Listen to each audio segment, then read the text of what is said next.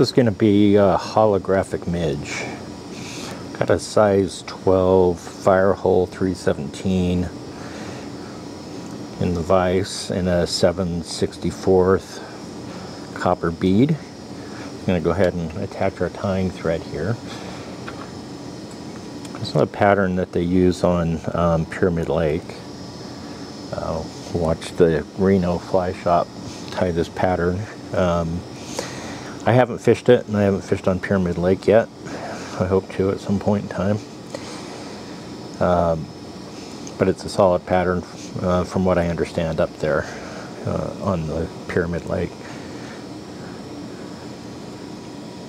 So I'm just going to take some thread wraps here right behind the bead. Um, not to secure the bead, um, but to just start building up our taper here. Um, we're not going to need much of a taper on this. We want to keep it fairly skinny. So the first material I'm going to tie in is just going to be a piece of uh, copper wire.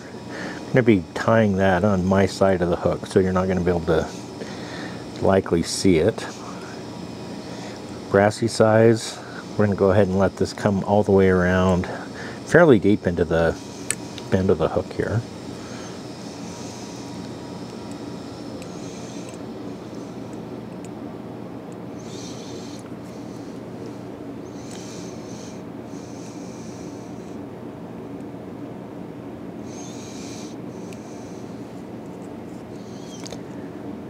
Couple more turns there. Yeah, about halfway down the bend of the hook there. I'll go ahead and bring my thread back up. Um, just helping me start to build a little bit of, of um, thread tapering here. And from here, we're going to tie in, um, really this is a pretty straightforward fly. I'm this brass wire, uh, brass, or the copper wire brassy size. Then I'm going to be using some um, holo tinsel.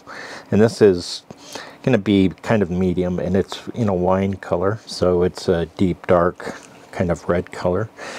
We're going to go ahead and attach this. I like to use this um, in the bobbin um, and uh, we'll talk a little bit about why I like to do that especially if I'm going to be tying up a few of these.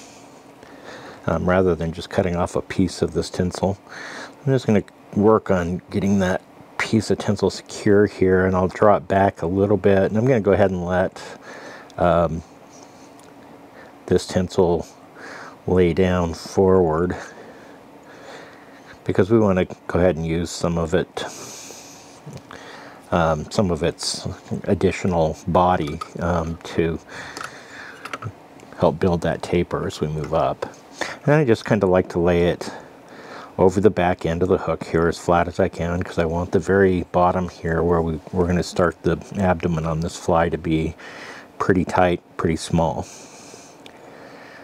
So we're going to just take that right back down to that about halfway point in the bend and then we'll bring it right on back up. So with those two materials in place, um, all I'm going to do right now is I'm going to work a little bit on taper um, again, I don't want this to be a really fat fly. I am going to turn my bobbin um, counterclockwise a couple of times just to flatten the thread out a little bit. And I will turn my vise uh, from time to time to the side just so I can look at that taper.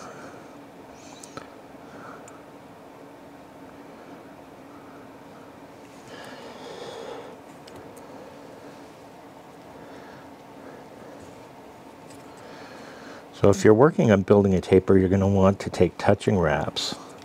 Um, and what we're going to do is we're going to take touching wraps back and we're going to go just before the bend of the hook here. And we're going to bring it back forward. We're going to make a couple of passes like this, basically having the distance each time.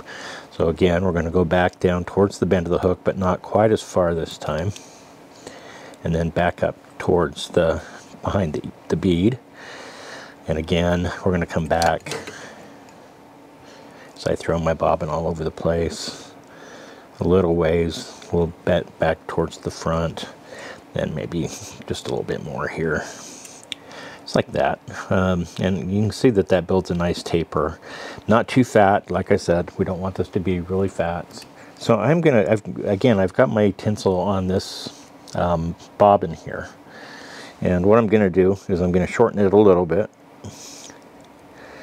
I'm gonna let it dangle, and then I'm gonna kind of let it spin a little bit counterclockwise. Not a lot, but you're gonna see it's starting to put a twist, a little bit of a twist on this um, Mirage tinsel. And that's just going to help us lay this down flat. So I'm going to start out at the very back there, make sure I get one good wrap around the base. And as I turn, because I've got this twisted, um, it's actually going to untwist pretty flat um, as we work our way up the shank of the hook.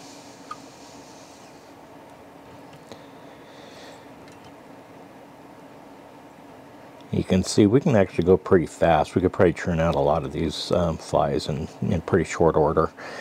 Make sure that I'm clear up behind the bead there. Then I'm going to just grab my thread off of my bobbin cradle. Throw it around again for good measure. I'll just take a couple of wraps over the top here, securing that material down and then I'm going to just take a couple of wraps behind the bead. I'm going to come in with our, our scissors. We'll go ahead and cut off the excess balance of that material right there. I still have it in my bobbin so I have it available to use for my next fly. So the bobbin just, again, helps you be able to kind of spin that uh, counterclockwise a little bit and, and just make it a little bit easier um, to wrap up the hook. And now we're just going to wrap our, uh, with fairly open wraps, our copper wire.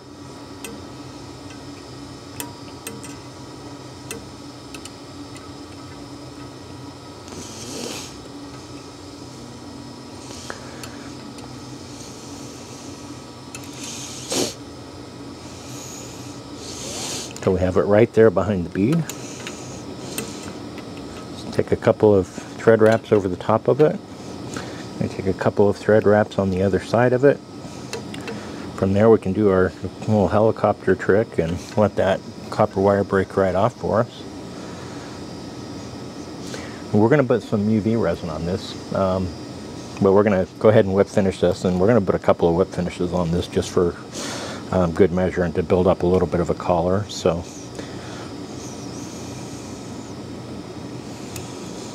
There's one. We'll do one more.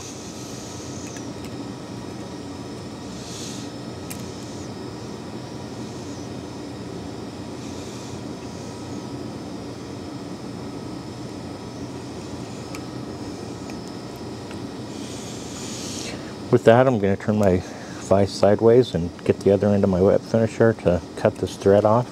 So for UV resin, um, you, will note that I've got a really big glob here. Um, and that's okay. Um, I'm going to put some on the bottom and some on the top. And by using that amount, I'm able to kind of stretch this right on down. I want to make sure I get it over um, all the way down to the, the bottom here, uh, where those wraps start at the bend of the hook. Make sure I've got it on either side. So in short, I've got a lot of material to work with by putting that big of a glob on there. This is actually going to give me a, a, a, moment to work with it uh, before I hit it with the torch. And once I feel like I've got it coated pretty good, um, I'm actually just going to take this uh, sewing pin and I'm going to run it from the back up to the front and wipe the resin off on my fingers. Probably not a good idea, but that's what I do. Um, just kind of getting some of that excess off and creating um, you know, maybe a little thicker up by the bead, um, if at all. But that'll help these um, copper uh, wire ribbing to kind of stand out a little bit more so it looks a little bit more bumpy or segmented. From there I'm just going to hit it with my UV light and cure the resin.